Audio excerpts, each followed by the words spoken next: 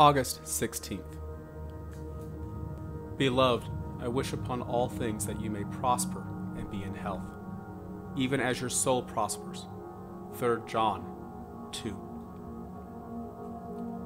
Is it true that God, by setting you aside from active engagements, has set you aside from all duty and labor?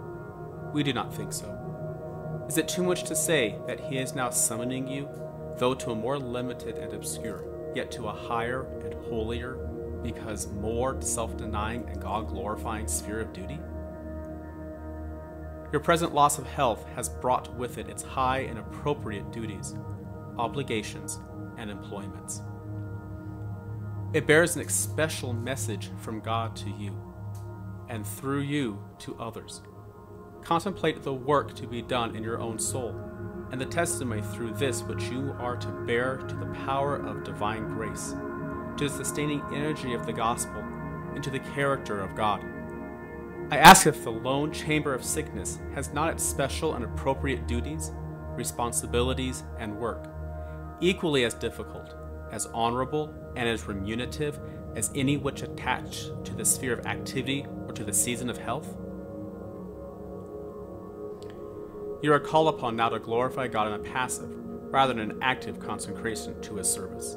Graces hitherto perhaps dormant, but feebly brought into play, are now to be developed and exercised to their utmost capacity. Patience is to be cultivated, resignation is to be exhibited, faith is to be exercised, love is to be tried, and example is to be set. And are not these great, holy, and sublime achievements? Who will affirm that there is no sermon to be preached from that languid couch, that sick bed? Yes, and it may be more solemn, more searching, more full of Christ and the power of the Holy Spirit than the pulpit ever preached. The church and the world have now the testimony of one passing through the present and a personal experience of what he speaks. A sick room is not the place for theorizing upon truth and eternity. All transpiring there is stern reality. The dust of human applause is laid aside, the breath of adulation is hushed, the flush of excitement has faded, and the delirium of an admiring throng has passed away. The artificial gives place to the true. All is real and solemn as eternity. Deem not yourself a useless cumberer, because sickness has incapacitated you for active labor. God has but changed your sphere of duty, transferring you, doubtless, to one more glorifying to himself.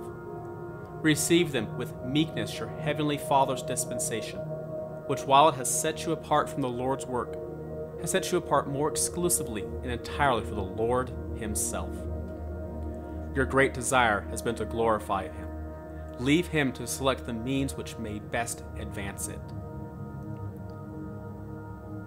You have thought of health and activity, of life and usefulness, of being a champion for the truth, a herald of salvation to the ignorant and the lost, a leader in some high and laborious path of Christian enterprise.